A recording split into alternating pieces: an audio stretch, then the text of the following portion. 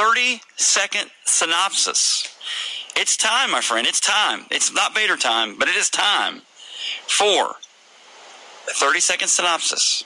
Okay, I've got I, my. I'm, I've got my. I'm a rookie at this, but I'm going to do my best. Okay, I've got my uh, Timex Iron Man watch. Uh, it keeps perfect time, and I'm going to time you. You don't have to use all 30 seconds. Okay.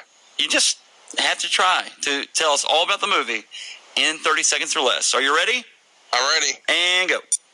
There's a re- wrestler named Rip Thomas. He's the World Wrestling Federation champion, and he is a ratings bonanza on cable television. Uh, when all of a sudden the evil empire wants him on another network, can they convince him to sign, or will they not?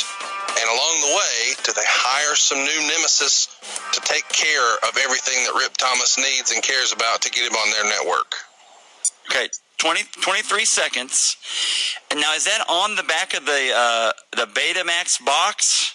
I wish it was. I have no idea what it says, um, but I, I would love to see the actual Betamax uh, or the Laserdisc. I've never owned a Betamax or a Laserdisc, and if I'm going to start a collection, why the hell would I not start with No Holds Barred?